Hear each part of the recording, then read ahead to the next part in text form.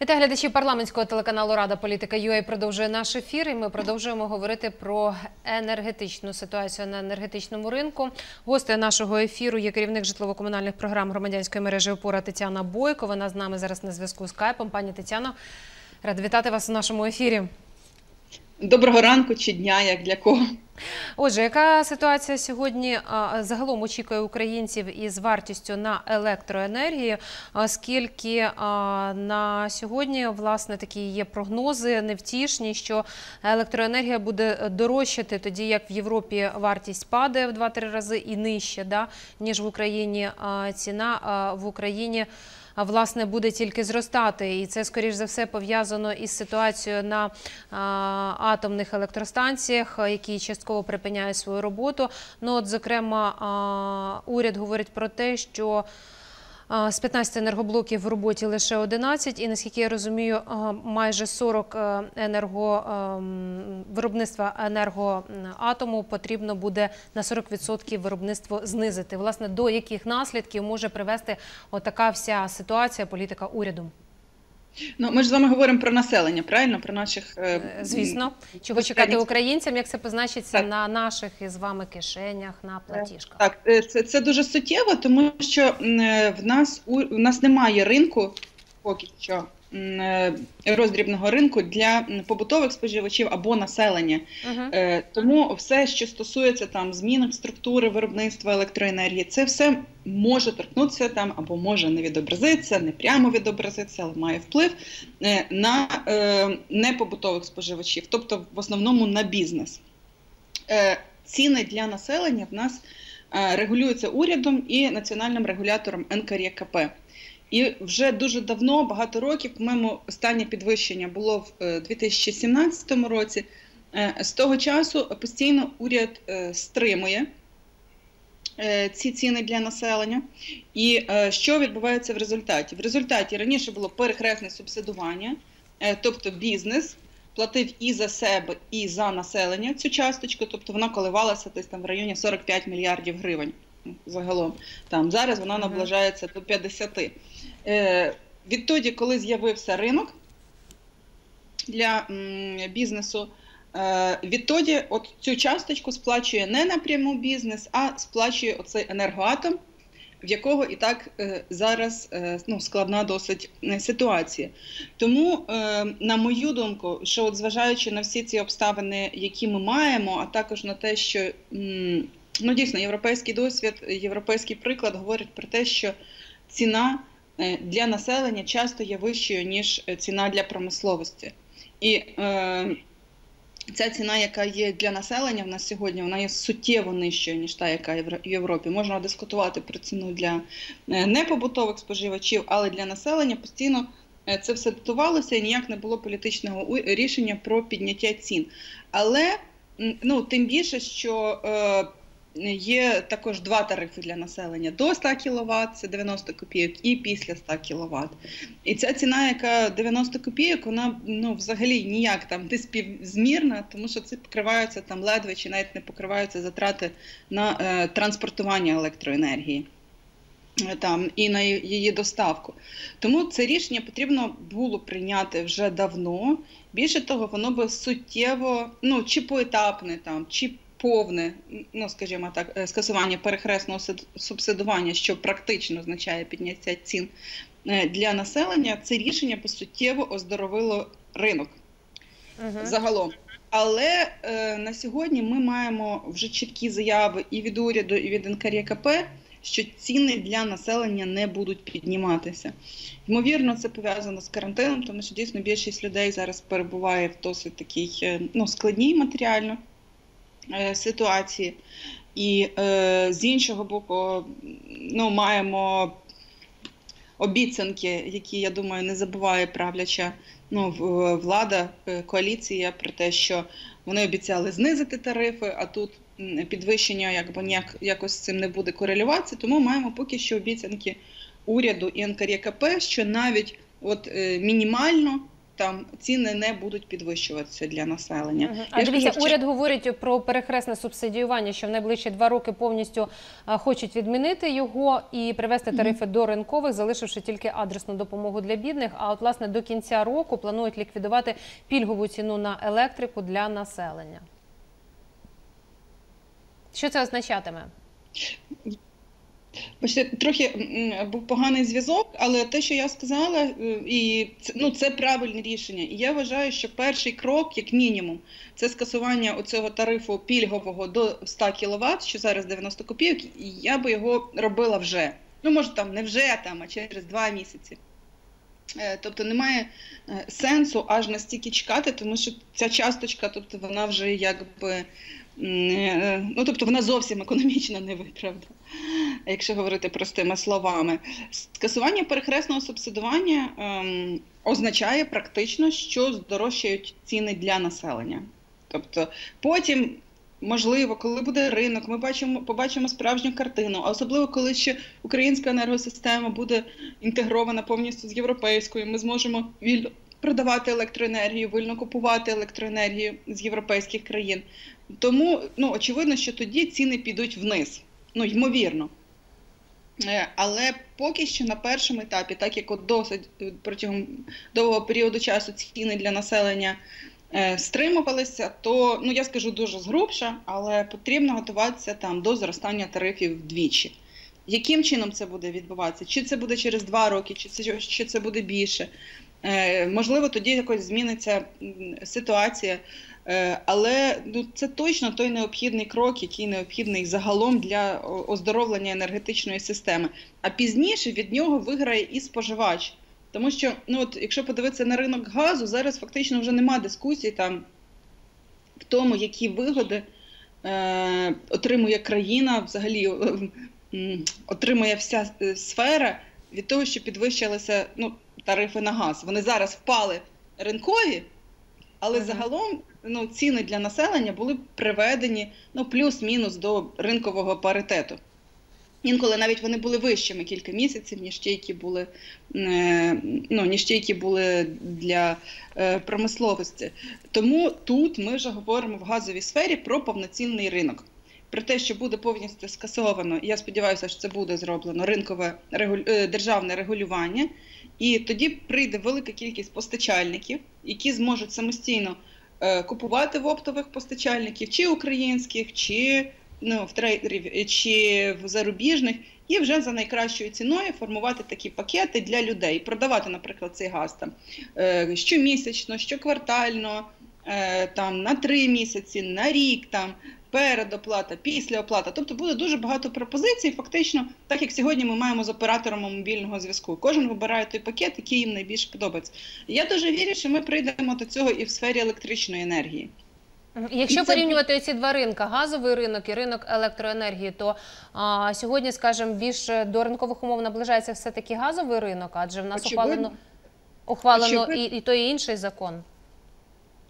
Тобто це питання так і- закону, і це питання імплементації. Е, Я не скажу, що на газовому ринку так ідеально все. Угу.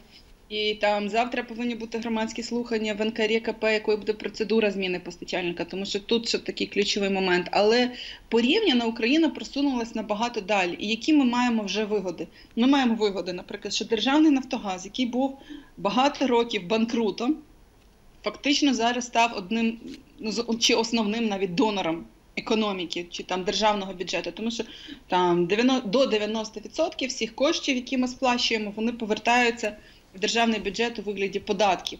Там більше того, там ми зараз можемо бачити, як там Нафтогаз може виступати спонсором певних проєктів, там соціальних допомагати в ситуації з ковід. І тобто далі, вже коли утворюється, ну скажімо так, я не скажу надлишок цих коштів, не зовсім правильне слово, але коли, коли люди сплачують ринкову ціну, далі вже сама держава вирішує, як е, далі оподатковувати підприємства, які отримують ці кошти. Тобто, тому що яку встановлювати, наприклад, ренту на видобуток, чи залишати ці кошти е, самим там газодобувним підприємствам. чи забирати там 90% ренти, і тоді ми розуміємо, що ну ніякий газовидобуток не буде розвиватися. Чи, наприклад, залишати їм якусь частку і казати, але ми хочемо тоді е, ну, збільшити вітчизняне. е, Вітчизняний газовидобуток. Тобто тут вже дуже багато з'являється додаткових опцій в держави. Наприклад, чи ми зберемо ці кошти, як було в газовому сфері, і дотуємо за них, е, ну, надамо адресні субсидії. Там теж було все не ідеально, але поступово, тобто система стала більш справедливою, і ми прийшли вже до адресної монетизації субсидій. Сподіваюся, так само прийдемо пільг. Тобто там вже, ну, вже, вже ми можемо говорити про повноцінний ринок, коли споживач сам зможе обирати, тобто він стане клієнтом, і за нього будуть боротися постачальники. Ну поки що в сфері електроенергетики м, ну про це навіть нема мови, тому що проблем так багато на і на, е, на, на оптовому ринку, що ну, просто клубок настільки, настільки вже замотаний, що його потрібно розмотувати. А якщо казати, що ми будемо над якимись питаннями працювати, а на якісь закривати очі, ну то це просто буде тільки відкладання цієї проблеми, яке вилізе там ну ще з сильнішою силою там через півроку чи через рік. Ну, я наскільки я зрозуміла, так, якщо зараз держава стримує дещо ціну на, для населення на електроенергію, то ринок, е, який а, рано чи пізно буде запущений в Україні, ринок електроенергії, означатиме ринкові ціни. Держава вже не зможе втручатися у формування ціни. Але Е, за рахунок так. Конкуренції. Зараз в нас є ринок електроенергії для промисловості, але він також е, досить викривлений Мгм. через ряд причин. Одна з них це перекресне субсидування. Є багато причин, я не буду зараз про них говорити, тим більше споживачам воно ну, не дуже якби, цікаво.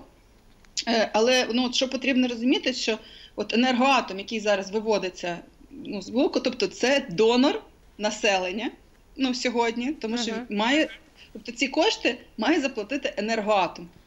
А якщо Е, проблеми на сьогодні в енергоатома, то хто тоді заплатить ці гроші? А, ну, зараз будемо, бо, бо, ну, уряд вирішує як. І більше того, енергоатом ще повинен заплатити і зеленим. Ну, тобто, е, ми знаємо, що в нас є зелений тариф, і, Який завищений у порівнянні От. з європейськими тарифами, так? Ну, дивіться, Можна порахувати. Населення платить 90 копійок за кіловат, там, наприклад, а зелений тариф там е, ну, 3,5 гривні 5 гривень. Ну, тобто ця різниця дуже висока. Десь Мгм. тих 3-5 Рази, так. 3-4 гривні треба десь взяти. І, і, і цей хтось був енергоатом. І зараз, коли ще він ну, виробляє менше електроенергії, ми розуміємо, що це ну, фактично паралізує повністю його роботу. І так борги величезні. І тому якби ну, борги перед зеленими величезні. Е, і тому якби така ситуація далі не може продовжуватися. Міністерство там створило, ну вірніше, уряд створив антикризовий штаб, і вони ну, вирішують, скажімо так, ці глобальні проблеми на ринку, яким чином, скажімо так, перш за все, ну, зменшити ці борги. Які утворилися одні перед другими учасниками, і таким чином, я думаю, ну можна прийти, хоча б частково до того, що зменшити адміністративне втручання. Там НКРКП часто втручався в різноманітні ринкові, е, ну, встановлюючи там прайскепи, е, тобто верхні нижні ціни там е, на, на ринках. Але е, ну, це все виправляється, і тут для промисловості я вважаю, що можна вже рухатися до ринку, особливо ну, до повноцінного ринку, особливо тоді, коли буде українська енергосистема інтегрована з європейською, і можна буде вільно купувати, продавати електроенергію ну, з європейською е, енергетичною мережею. Це технічне рішення, але ну, технічне, організаційне, але воно дуже важливо. А от, власне, для- уточніть, па- пані Тетяно, купувати, продавати. Наскільки я розуміла, що у нас е, достатньо об'ємів виробляється електроенергії тут всередині України, що не потрібно закуповувати. Тут достатньо своєї електроенергії, яку б ми могли експортувати, а не імпортувати, заробляти на експорті, так чи ні? А, ну, питання трошки складніше, тому що е, тут потрібно подивити, дивитися на ціни, і крім того, електроенергія вона ж не є, е, скажімо, постійною обсяг. Є пікові навантаження, Угу. і є такі періоди, коли є надлишок. Питання в тому, що атомка, от вона якраз є м, сталою, тобто вона не покриває піки. і потрібно думати, яким чином покривати це пікове навантаження. Тобто на сьогоднішній день в Україні основні це теплоелектростанції, які в основному ну, приватні. І е, ну, крім того, вони працюють на вугіллі, тобто там є ряд ряд питань. І е, гідро. В чому ще от, от, одна проблема, така от, через яку, через яка, скажімо так, спричинила кризу, е, тому що була дуже маловодна зима. Угу. І гідроелектростанції, які є балансуючими, тобто вони не змогли виробити стільки, скільки не можуть виробляти стільки, скільки було заплановано. Тому А тарифи потрібно... теплоелектростанцій? Вони в рази дорожчі атомних? Ну, дивіться, вони дорожчі, але це об'єктивно, тому що вони балансуючі, тому що. М Ну, ми не будемо зараз говорити про якісь можливі зловживання е, в цій сфері, я їх не виключаю. Але я маю на увазі, тобто це нормально, що е, тарифи теплоелектростанцій вони вищі, тому що вони якраз е, вони повинні швидко, вони бути ну, маневреними. Вони коли потрібно, вони включаються. Дають коли відразу, не є потрібно, вони можливість. включаються. Тобто, і це якби їхня велика м, така перевага. Е, І ну, про імпорт я також не готова зараз говорити, тому що той імпорт, який в нас був зараз, він був з Росії, там, ну, з Білорусі, Білорусі. так? Угу. То це була зовсім інша історія. А, я маю на увазі можливість імпорту з Європи за багатьох інших обставин. Ну, тобто зараз поки що ну, про це навіть немає сенсу говорити, але е, ну, це така реальність, що я вважаю, що ми повинні прийти до того, щоб дивитися реально, а що вигідніше. Тобто, не я розумію, що є соціальний фактор. Наприклад, є наші шахтарі, які не повинні залишитись без роботи. Але з іншого боку, там, ну, як ми зараз маємо залишок вугілля е, на шахтах, але м, ну, соціальний фактор він не може бути основним в економіці. Тому що якщо шахти збиткові, ну повністю вже збиткові, там, наприклад, собівартість 9 тисяч гривень за тонну. Угу. Ну, потрі... очевидно, що потрібно цю шахту закривати. Як би кому ну, не подобалося, як би це не звучало, але очевидно, що ну, не може от економіка, суспільство, держава просто утримувати ну, цю повністю збиткову шахту. Ті шахти, які можна вивести на рівень окупності. Тобто, очевидно, що потрібно ну, якби з ними працювати. Але е, досить велика є шахт збиткових, і очевидно, що ну, до теми закриття потрібно повертатися, і це це теж та реальність, так само, як от перехресне субсидування. Можливо, там ну, це питання там не двох, не п'яти років, але очевидно, що якусь кількість шахт ну, в середньотерміновій перспективі доведеться закрити. Пані Тетяно, тобто в умовах коронавірусу, наскільки я розумію, ціни підніматися не будуть. А що ми можемо ну Україна на порозі там літнього періоду, да? А що ми побачимо в осінній період? От зараз таке певне затишя. Ну, знову ж таки, я можу сказати тільки свою думку. Розумієте, я вважаю, що чим швидше, можливо, так, от хай ми вийдемо з цього коронавірусу, просто для того, щоб люди мали впевненість, що в них є робота. І е, ну, тому що дуже різна ситуація в різних людей. Я розумію, що якісь ну, сім'ї опинилися реально в критичній ситуації. І а тому, можемо можливо... очікувати кризу неплатежів в цей період? Ну, ми вже бачимо, кризу неплатежів. Ми вже бачимо, що платежі впали десь на 50%. Це дуже погана тенденція. І я вважаю, що тут якраз ну, повинен уряд дуже сильно комунікаційно правильно спрацювати, щоб ті, хто не втратили роботу, вони сплачували повністю. Вони взяли на себе певний такий е, ну, моральний тягар. Угу. І вони сплачували, і люди, які там не мають певненості, вони хоча б платили скільки можуть, тому що ці борги ніхто не скасує.